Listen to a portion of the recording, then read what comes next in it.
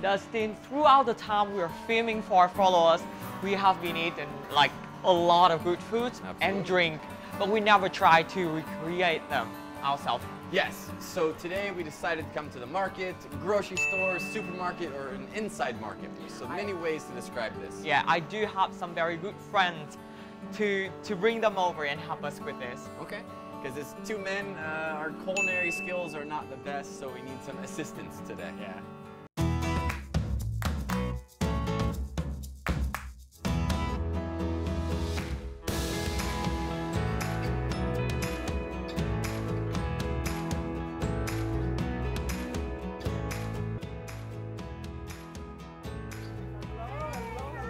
Amber, Xin Chao.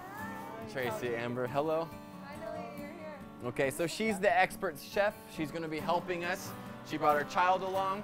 So She's gonna be help us too. Yes, it'll be a very interesting experience. So, I'm not a pro, but I think I can help you out. Sal, Yeah. before you told us you were a pro, but now you're not. What, what do you have in mind? I'm thinking of um, bún thang. Bún thao lovely, I love it. I have no idea. You know what that is? Combit. Oh, yeah. So it's the first thing on the list. it's chicken salad. Amber, you like to have some dessert or snack to go with? And we can go shop. And before that, I think we're making um, Amber's favorite snack.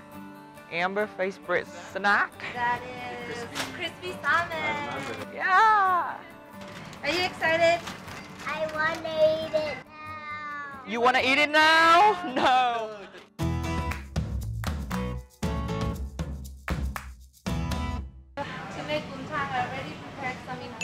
That we won't be able to find in the supermarket, like rice noodles Okay. and um, fish sauce. Fish sauce. You Yeah. can't find fish sauce at a market in Vietnam? There's a special type of fish sauce. Okay, so a special Really? type. Is Okay, it is it okay. mam tom? Mắm tôm, yes. It's not fish sauce. What is mắm tôm? Shrimp paste. Mam tam, gay No, way? it's not. it's not Terrible. thing. Terrible. We can put it aside. We're gonna put it aside. out, like, uh, oh, there's eggs. We need eggs too. I want to. You wanna hold it? Yes. Oh, don't break it. Don't break them. So you got eggs. Some fish? Yeah, we need some. Oh, Salmon. Some there. Okay, so salmon. Yeah. So you- do you need a fillet of salmon or a whole fish? salmon, Okay, yeah. so get a fillet right here. I think. A bigger one? Yeah. Okay, you got it. Let's grab the bigger one. Swap. So sometimes maybe if you have a child, a child is a picky eater. A picky eater is someone who is very choosy. They don't want to eat this, don't want to eat this. So we have to cater to the picky eater. We got to make sure she's happy. In this episode, Tracy's son, Rooney Nguyen, also a native English speaker, will join us and act as a little host of the show. He's so talented. Rooney will help me explain word phrases and idioms to you. We'll catch him right now.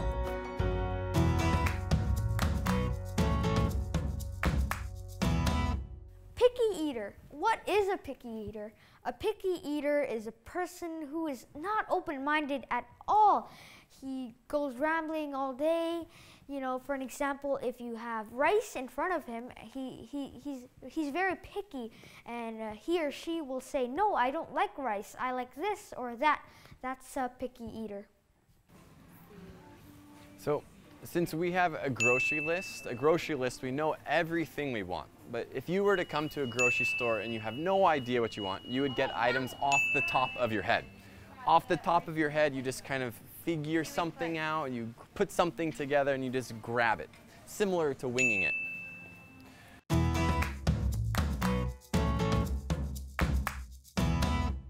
off the top of one's head is coming up with an idea that just comes off from your head.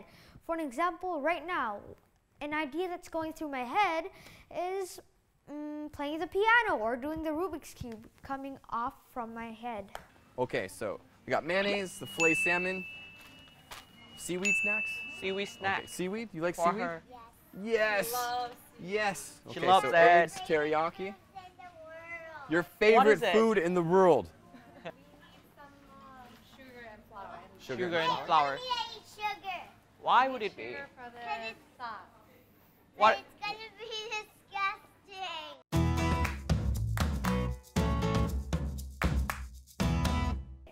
Winging it. Winging it is you haven't prepared for that occasion, so you're just gonna go in and try your best.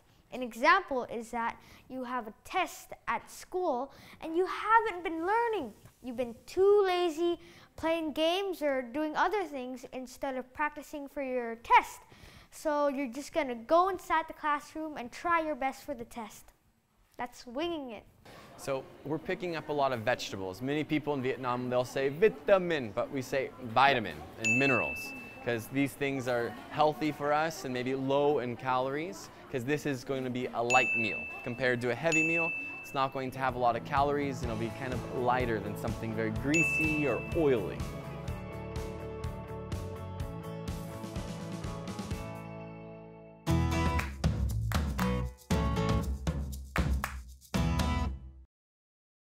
So we just got back from the market here, and we're going to be cooking some Vietnamese food. But what it is, I don't know. What are we making? Uh, we're making Vietnamese chicken noodles. So chicken noodles. It's called bún thang. Bún tha. Bún thang. Bún thang. Okay. So it's new for me. So what are the ingredients? So of course we need chicken, Okay, so chicken, um, rice noodles, rice noodles. uh, Vietnamese pork sausage. Okay, so Vietnamese pork sausage. Um, here I'm gonna show you all the herbs that we need to use. So first spring onion. Okay, so we need some spring onions or green onions, so all of them. Yes. All of Okay, what else?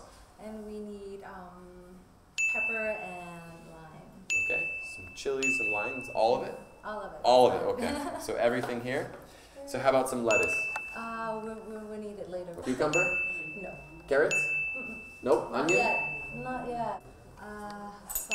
So everything she's grabbing here, you can call them herbs and spices. So mm, sugar. salt, pepper, sugar, spices, and maybe some other things here, herbs, to add some spice, excitement to your recipe.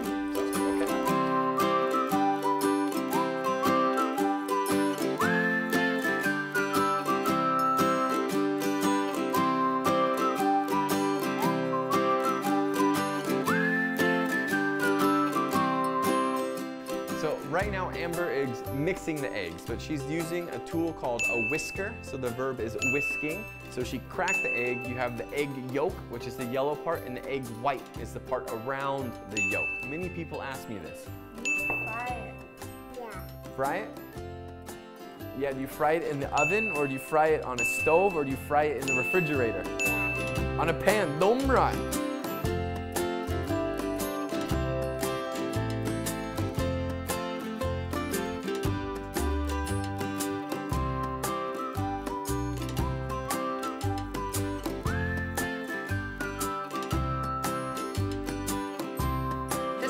Kristen, help me to thinly slice the? Yeah, how thin do you want them? As thin as possible? You can do it. Okay, I'll try. So, so slice is the action of doing this. It's similar to cut, but she wants it as thin as possible. So for me, I maybe, I don't really care that much when it comes to cooking. So very, very, very thin, I have to slice this. Tracy, is this okay or thinner? That's it. That's it. Really, it's okay? Yeah. Okay, good. Perfect. I'm gonna go to the kitchen and prepare. okay, no problem. Yeah, but yeah, during the time, my friend Dustin and your mommy in the kitchen, we just wanna do something meaningful and spend a little bit time with the piano. We just want to take our mind off the food. Take our mind off the food.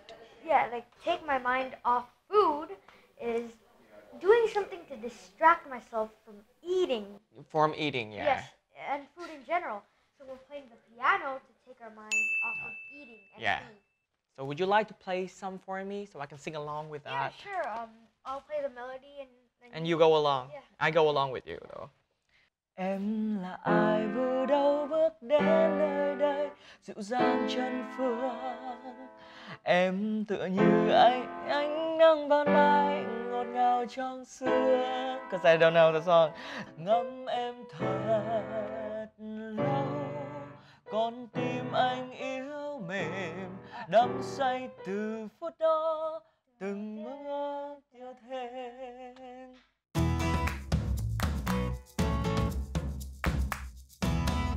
Getting something off one's mind. Let's say um, you're too, you're, you're too concentrated on the piano or something, um, or eating, let's say, uh, you need to you need something to distract you from it, so you could take a break from it. Um, so if I play the piano too much and you know I need to get it out of my head for a while, I would uh, probably sit down and read a nice calm book or sing a song. So what's next? okay, so we need to grab this dry turnip here. What is this? So I already, it's a dry turnip. Okay. So they shred them really thin, thin as well. Okay, so we already had those pre-shredded. Mm-hmm. They're pre-shredded and I soak them into the water. The verb of shredding, so we have slice and we have cut, but shred is to make things into very small pieces, so smaller pieces. So the thing is, we have the meat already cut up, but if we were to shred it, we make it into smaller, smaller pieces.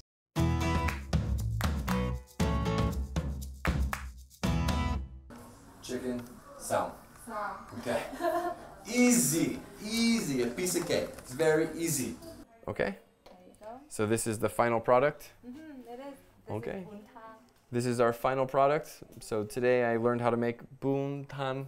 Yes, you just did it. Buntan. Okay, I just Pretty did it. everything. but I probably could not duplicate this and do it again in Ho Chi Minh uh, because I would probably fail. But okay, so let's keep making some more. So do you have another bowl for me?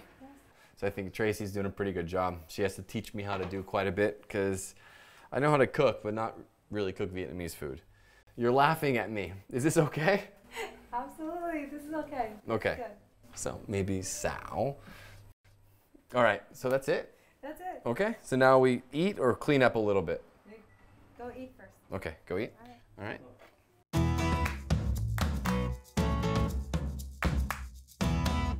Yeah, so we had a, a food that was made from scratch today because we went to the market earlier. And it's all homemade. So it's made with love. And that's something that's very, passion. Yes, absolutely. So it's something that's very, very important. But he's going to be the new host for this show. So he's practicing right now. So.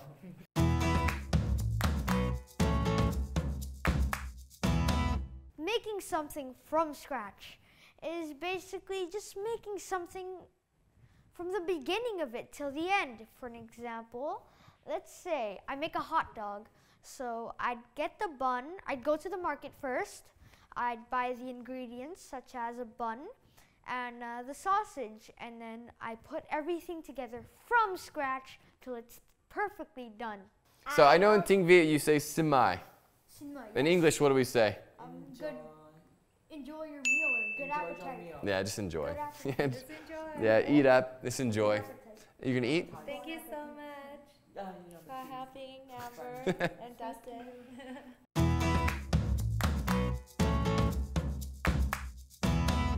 Good appetite um, is a word generally used before dinner, before lunch, or before any meal if um, anybody is there with you.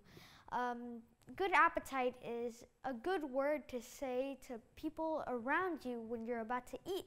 It uh, shows them that you really care for them and um, you want them to enjoy the meal too.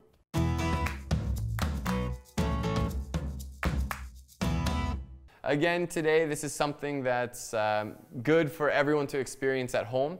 And VTV7 is very, very curious what type of food you guys eat. So if you want to leave a comment what your favorite food is, but in English, not Tiếng Việt. So try to translate some of your favorite Vietnamese foods below. So we're going to enjoy. You guys have a fantastic night. Have find something you love to eat. Leave a comment. We want to know. All right. Simai, eat up. Okay. So I eat.